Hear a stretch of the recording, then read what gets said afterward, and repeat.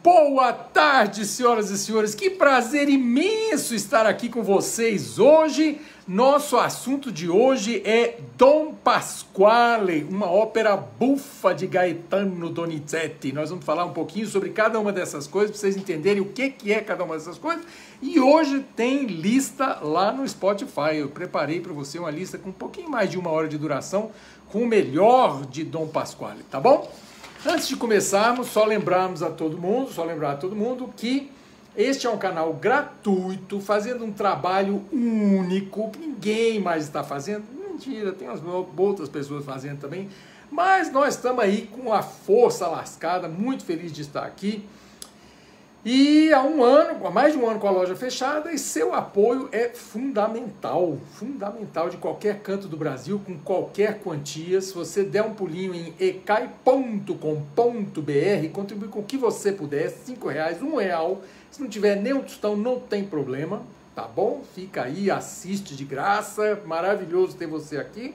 E se você tiver Pix, dá um pulinho em 14, 200, aliás, faz, faz seu Pix. Nossa chave é nosso CNPJ, 14 212 894 0001 98. Tá aí, tá bom? Então ajuda nós aí. Muito obrigado a todos vocês que estão nos ajudando. E é, é, é emocionante ver cada centavo que cai lá na conta, porque é o que nos mantém vivo, mesmo, honestamente, do fundo do meu coração, eu estou muito feliz de ter o apoio de todos vocês. É o que nos, nos mantém vivos e mantém o salário de 10 funcionários em dia, tá bom? E tudo mais em dia, aluguel, condomínio, IPTU que chegou, etc, etc. Muito obrigado a todos vocês que têm nos ajudado, tá bom? Então vamos lá, Dom Pasquale, ópera de Donizetti, Gaetano Donizetti. Seguinte, é... ópera bufa, a Dom Pasquale é uma ópera bufa. Bufo em italiano significa engraçado. Aí você fala assim, mas precisa de chamar, ter uma categoria para dizer que a ópera é engraçada? Precisa, porque ópera bufa é mais do que simplesmente uma ópera engraçada. É um tipo de tradição operística que vai desde o século XVIII com gente como Mozart, por exemplo, é, que escreveu As Bodas de Fígaro. As Bodas de Fígaro é uma ópera bufa, de 1786. O Rossini é, escreveu O Barbeiro de Sevilha, é uma ópera bufa, de 1816. É, As Boas de Fígaro, eu falei que era quando? É 1786. O Barbeiro de Sevilha, 1816.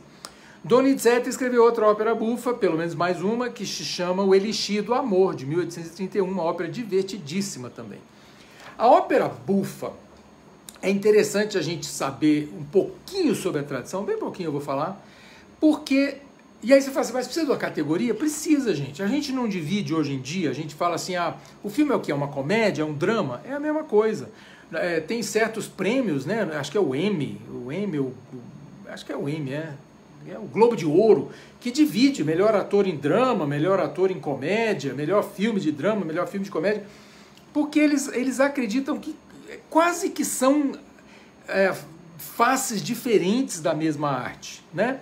A gente costuma, por exemplo, achar que, por exemplo, no Oscar, né, 90% das vezes é o drama que vai ganhar o Oscar de melhor filme. É difícil uma comédia ganhar o Oscar de melhor filme. Aqui é a mesma coisa.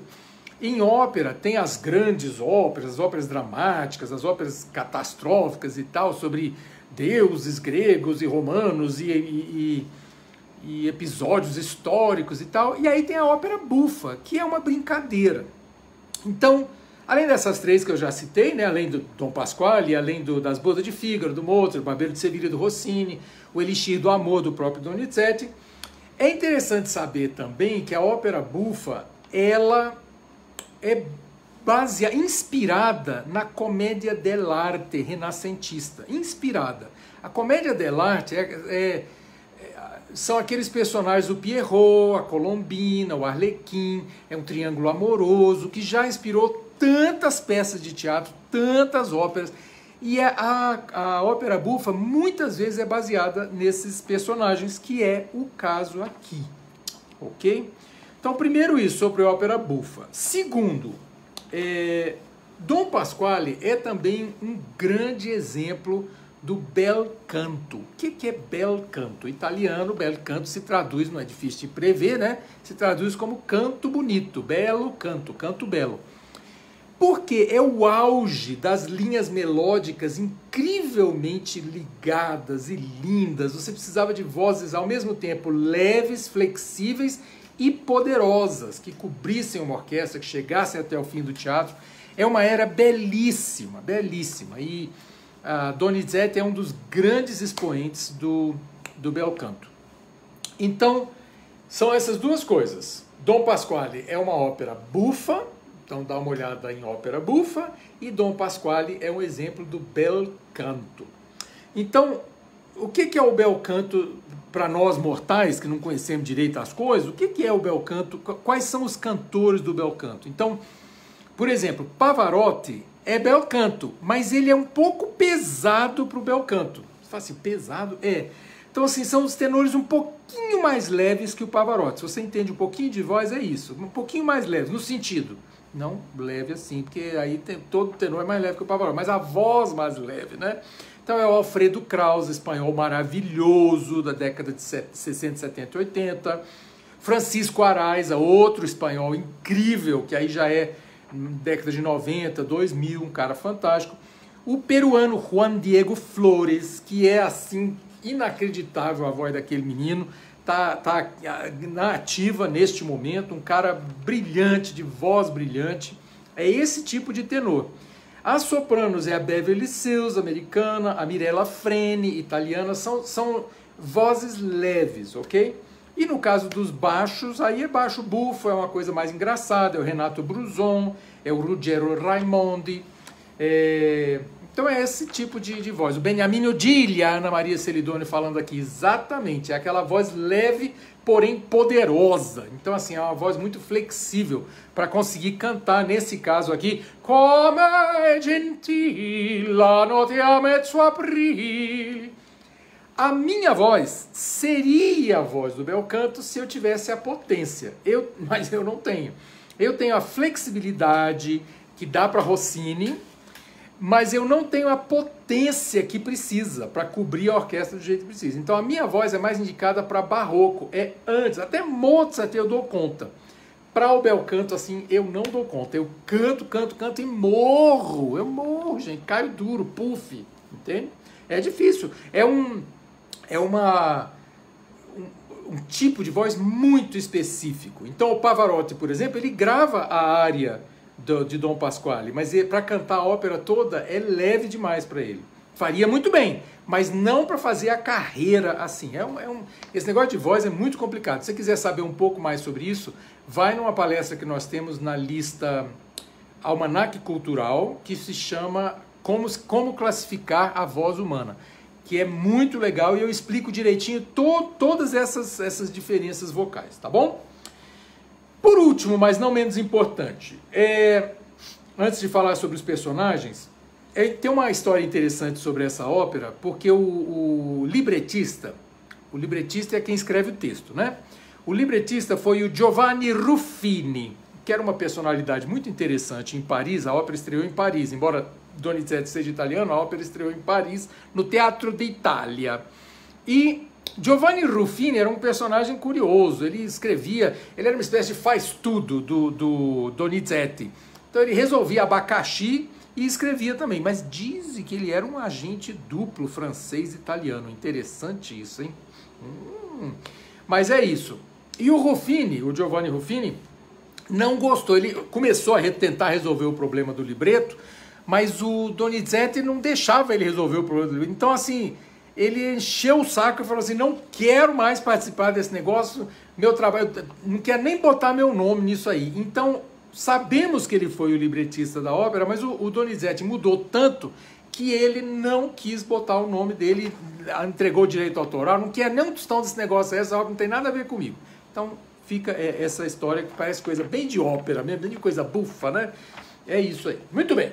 Um pouquinho sobre os personagens, e aí entra aquela história que eu falei de inspiração na comédia dell'arte, Porque quais são os personagens que eu falei? Arlequim, Colombina, Pierrot, um, um Pierrot apaixonado que vivia só cantando por causa de uma Colombina, acabou chorando, acabou chorando, né? Marchinha de carnaval, quem lembra disso, né? Esses são os personagens da comédia dell'arte. Mas tem alguns outros personagens. No caso, o Pantaleão, que é Pantalone, que é um velho rico pão duro, que nesse caso é o Dom Pasquale. O Ernesto é o Pierrot, que está apaixonado pela Colombina, que é a Norina. E o Malatesta é outro personagem que não está nesse triângulo amoroso, que é o Scar Scapino. Scapino. O nome Scapino vem de escapador, de fujão, que ele é o sujeito que arruma a, a, as tretas. E no caso é o doutor Malatesta, um médico que vai tramar essa confusão toda.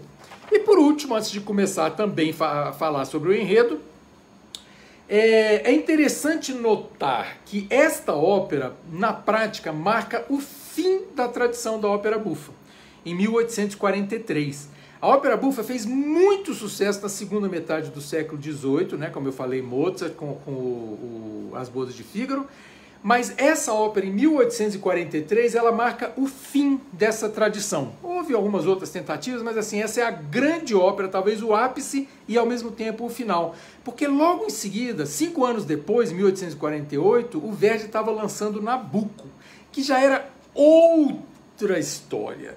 Em, em 1851 o Verdi lançou Rigoletto, em 53 Traviata.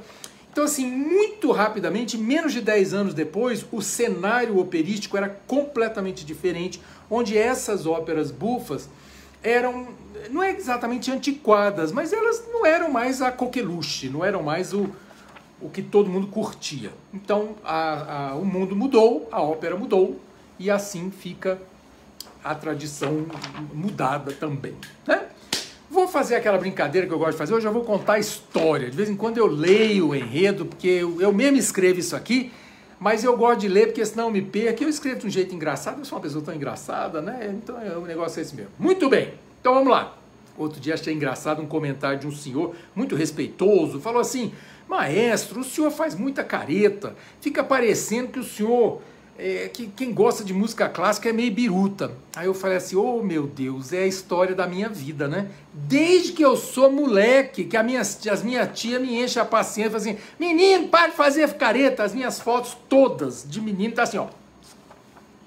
Tudo, não tem jeito, gente. Eu sou assim, fazer o quê, né? Então, com todo respeito, eu peço perdão pelas caretas, mas eu sou esse aí, né, meninos e meninas? Aí fazer o quê? Paciência. hum. Ok, então vamos lá. Ópera Dom. Eu sou um personagem bufo. Eu sou um personagem bufo. Fazer o quê? Né? Então, ó, Dom Pasquale. Abertura. É uma abertura interessante. Uma das inovações que, que Donizetti traz aqui é que ele usa temas da ópera. Isso não era sempre que se fazia, não. Não era uma tradição da ópera bufa. E ele usa aqui. Se você ouvir a, a abertura que eu, que eu separei para você lá na lista, ele usa vários temas da própria ópera. Isso é uma inovação, isso é muito interessante, ok? Então, ato 1, as primeiras três cenas. Ato 1, na casa do Dom Pasquale. Ernesto, que é o Pierrot, né? o Ernesto não quer casar com a mulher que o seu tio, Dom Pasquale, encontrou para ele. Então ele foi deserdado. Dom Pasquale, então, não queria que o sobrinho dele casasse com uma mulher lá, que é a viúva, a coitada da viúva, que além de tudo é pobre, que esse era o problema, a Norina. Então a Norina, que é a colombina, e o Ernesto não podem se casar porque o Dom Pasquale não quer que o, que o sobrinho se case e deserda ele. Ele fala assim: quer saber? Eu que vou casar então e vou arrumar uma, uma mulher bonita, gostosa e rica, que aí eu vou, eu vou fazer meu próprio herdeiro e chega nesse negócio. Porque o, o Dom Pasquale era solteiro, solteiro, não tinha filho, e o Ernesto era o herdeiro dele. E ele não falou assim: ah, quer saber? Te deserdo. Não vai ganhar meu dinheiro, não. Quando eu morrer, eu vou, vou arrumar. Então ele, o, o Dom Pasquale é um velho rabugento inspirado no Pantalone, ou Pantaleão, lá da Comédia dell'arte. Então o Dom Pasquale está em casa e ele está eh, é, esperando um médico, que é o doutor Malatesta. E o doutor Malatesta está com, determinado a convencer ao Pasquale que é uma bobagem ele se casar, mas ele finge procurar uma noiva para ele. O médico, confrontado com a impaciência de Pasquale, fala assim, cadê minha noiva, cadê minha noiva, cadê minha noiva? Ele mente sobre os atributos da noiva é, na área Bella, come un angelo, que eu separei lá para você. E ele conta para o Pasquale que a noiva é de fato irmã dele próprio, o médico. Alegríssimo, Dom Pasquale quer conhecer a noiva imediatamente na área a um foco insólito, que eu separei lá para você também. Essas são as primeiras cenas. Aí, segunda cena, as cenas 4 e 5 são cenas bem curtinhas. Cenas 4 e 5 no apartamento da Norina. E uma das coisas que é muito difícil aqui de preparar essa lista é que a ópera é bonita demais, é muito gostoso de ouvir. Você ouve, para quem gosta de ópera, essa é assim, o filé mignon das óperas. Você ouve tudo, tudo é divertido, tudo. É como o primeiro ato do Barbeiro de Sevilha. Você fala assim: o que, que eu vou cortar disso aqui, gente? Ele é muito engraçado, é muito divertido. A música é gostosa de ouvir, gostosa mesmo. Dá para você botar a, a, a lista que eu preparei e ir fazer, ir cozinhar, que é gostoso de cozinhar ouvindo essa ópera. Segunda cena, então, tá lá a Norina no apartamento. Norina está sozinha lendo um livro. Ela lê uma passagem e ri, refletindo sobre seu próprio temperamento. Ela é dura, osso duro de roer. Sou anch'io la virtù mágica, ela canta. Ela está esperando o doutor Malatesta que vai contar para ela sobre o plano, essa história do Pasquale lá. Um servo traz uma carta de Ernesto, o Pierrot, né? Que ela lê e ela se entristece. Malatesta chega para explicar o estratagema mas Norina interrompe e entrega a carta. Olha aqui, Malatesta, eu estou triste que eu recebi essa carta do Ernesto. O Ernesto vai embora da Europa, porque ele foi deserdado e vai embora. Malatesta diz que ele então adaptou o plano e que, ele, e que a, ela vai fingir ser a irmã dele.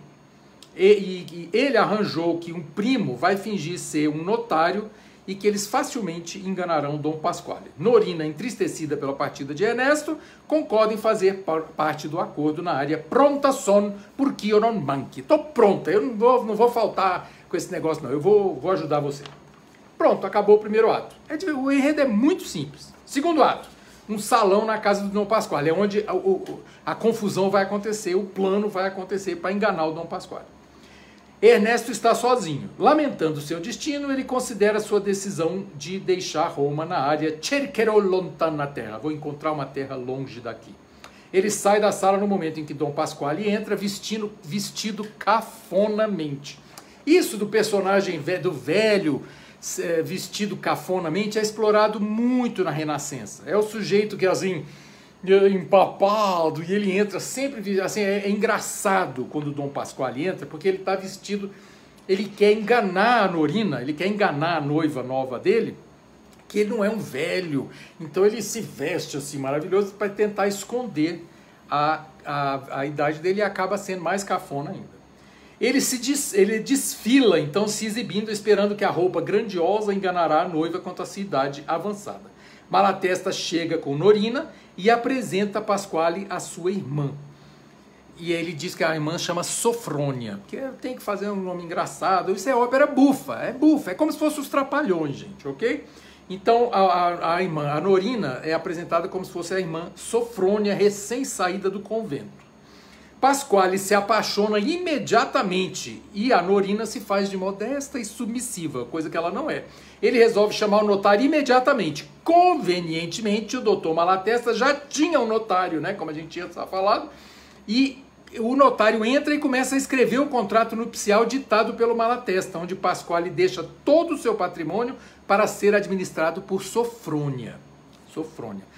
Tudo é feito com rapidez, Pasquale assina, mas antes que Norina assine o contrato de casamento, Ernesto entra. E, e, e, ele fala assim: Meu Deus, como você vai casar? Como você vai casar com esse velho? Não, não, não. Mas aí o Balatesta pisa no pé dele e fala assim: Cala a boca, burro, nós estamos fazendo um plano. É um plano, ó, é um plano. Aí, entendeu? É bem ópera bufa mesmo.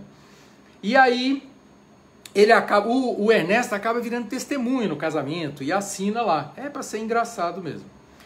É, imediatamente após a assinatura do contrato, a Norina abandona a personagem dócil e se recusa a abraçar o marido, dizendo que agora quem manda é ela. Portanto, Ernesto será escolhido para acompanhá-la em seus passeios noturnos. Uma maluquice, né? Pasquale se horroriza com a transformação, enquanto Malatesta e Ernesto mal podem conter o riso. Uh, uh, uh, uh, uh. Chamando os empregados, Norina recita uma longa lista de demandas, incluindo mais empregados, carruagens, cavalos, móveis, dobra o salário de todo mundo, e Pascoal está horrorizado com tudo, e Malatesta manda, que é o médico, manda ele para a cama. Vai para a cama. Puf, cai o pano, acabou o segundo ato. O último ato, terceiro ato, Dom Pascoal está cercado, abre o pano, Dom Pascoal está cercado por joias, vestidos, etc., que a Norina comprou, né? A Sofrônia comprou, e os empregados entram e saem com produtos novos. Desanimado com tantas contas para pagar, ele resolve confrontar sua esposa tirana. Norina aparece pronta para sair de casa. E ele tenta conversar, mas ela nem presta atenção. Ele diz assim: Senhorina, de tanta freta, onde, onde você vai, senhora, com tanta pressa? Ele sugere que se ela sair, talvez ele não deixe entrar de volta, hein? Ela dá um tapa nele, tipo assim: qual é, velho safado? Eu vou sair, eu saio a hora que eu quiser, a hora que eu volto, a hora que eu quiser. E ao sair, ela deixa cair um bilhete. Ela deixa cair um bilhete, a Norina, né? Que é a Sofrônia. Deixa cair um bilhete que Pasquale lê e é, o bilhete é endereçado a Sofrônia, marcando um encontro com um admirador anônimo no jardim. Pasquale ordena aos servos que chamem Malatesta e sai da sala. Os servos retornam e entre eles reclamam do excesso de trabalho. É um coro que eu coloquei lá para vocês, é um coro. E ao mesmo tempo revelam estar adorando o drama farsesco entre Pasquale e Sofrônia. Logo chegam Malatesta e Ernesto e eles saem sabendo que mais entretenimento virá. Os, os empregados saem. É, Malatesta lembra Ernesto dos detalhes do plano e sai também. O médico cumprimenta Pasquale, que explica ao médico que Sofrônia vai traí-lo. Ele fala assim: Olha, eu achei esse bilhete aqui, a Sofrônia vai me trair e eu quero que você traga alguém para testemunhar, para a gente assistir isso, eu vou pegar ela. E aí o Malatesta fala assim: ó, oh, não se preocupe, porque eu agirei a seu favor e eu estarei lá e vou negociar com a Sofrônia, você vai ver. A última cena da peça é a noite no jardim, que é uma no jardim do próprio Pasquale, que é uma gozação com é uma espécie de metalinguagem. Porque, por exemplo, em Dom Giovanni tem essas cenas de tem uma cena do jardim, é muito famosa essa, essa cena do jardim, acontece na própria nas próprias bodas de Fígaro, onde ninguém vê ninguém. Né? Então é uma brincadeira com essa é, é tipo metalinguagem. É, é, é, estamos fazendo brincadeira do ridículo da ópera de estarmos num jardim onde todo a plateia enxerga, mas ninguém se enxerga. Então é isso que acontece. Mas resumindo, Ernesto no jardim está cantando o seu amor por Norina, que é a área mais famosa da ópera, que é aquela que eu brinquei. Come gentil, la notte a mezzo april. É lindo de morrer. Norina aparece e eles expressam seu amor um por outro no, no, no dueto Torna-me a dir que mame, me, me diz de novo que me ama.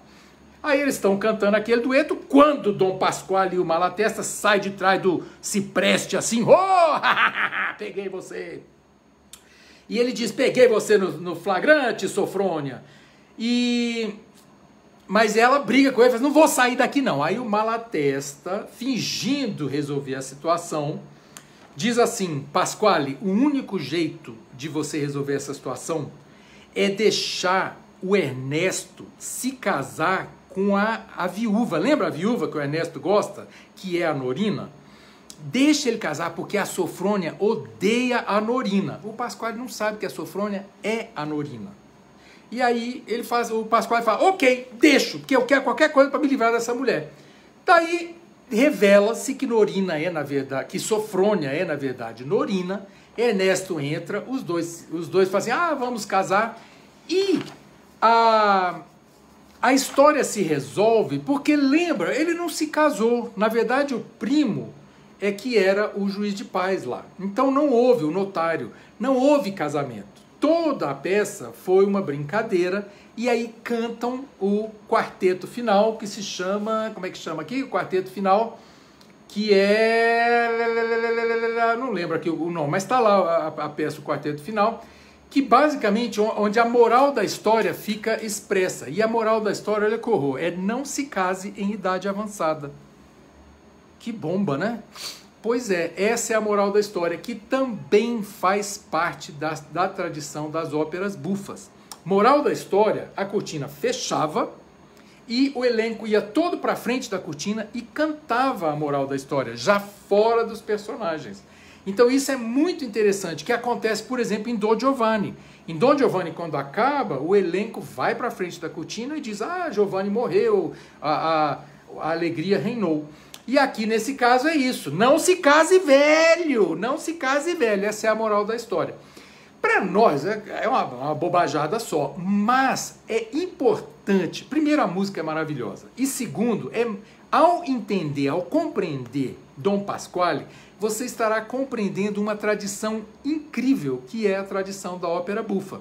O Barbeiro de Sevilha, que tem também moral da história, Amor, o Barbeiro de Sevilha termina com amor e fé eterna se veja em nós reinar e em vós reinar. É isso, assim, é uma grande brincadeira. Então, quando você entende a ópera bufa, você está bufo em italiano é engraçado. Você está entendendo uma, uma grande gama de óperas que foi escrita nesse estilo. Então que você pode falar, nossa, que coisa mais boboca, mas não é boboca. É porque nessa época a moda da ópera engraçada era essa. Eu sempre gosto de dar o exemplo das novelas da Globo. Novela das seis é geralmente de época, novela das sete é geralmente leve e engraçada, a novela das nove é a novela trágica, cheia de dramas e tal, essa coisa. É a mesma coisa. Em ópera bufa, você tem esse monte de tradição, esse monte de tradições que se repetem. E é porque o povo gostava, era pura moda, ok?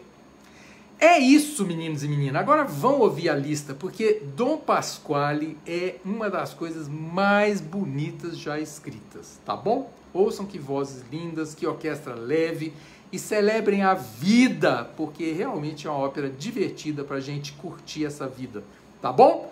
Um beijo enorme para todos vocês. Muito obrigado pela audiência aqui no canal. Muito obrigado a toda a ajuda que vocês têm me dado para a gente se manter vivo, tá bom? Um beijo enorme para vocês e boa noite.